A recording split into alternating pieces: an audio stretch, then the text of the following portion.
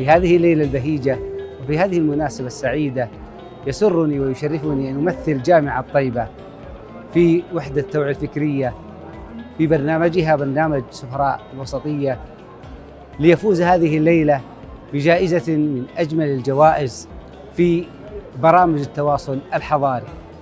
برنامج سفراء الوسطية تقدمه جامعة طيبة في نسخته الثامنة وهذه النسخة متميزة وفازت ولله الحمد ولله الحمد بهذه الجائزة.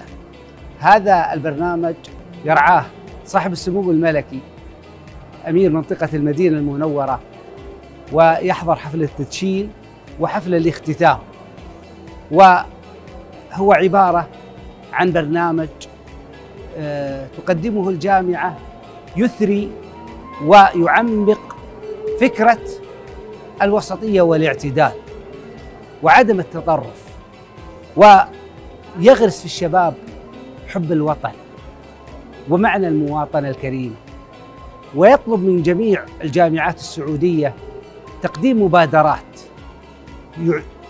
تعلمهم الجامعة كيف يعدون هذه المبادرات وكيف يقدمونها. ثم تكون المرحلة التنافسية في حصد الجوائز المعدة لهذا البرنامج. وفقنا ولله الحمد في هذه السنة بالفوز بجائزة مركز الملك عبد العزيز وإن شاء الله فالنا الفوز في السنوات القادمة. وأشكر الجميع ممن ساهم وقدم. أسأل الله لي ولكم التوفيق والسداد والهدى والرشاد في بلد عظيم تقوده قيادة عظيمة وفي شعب عظيم.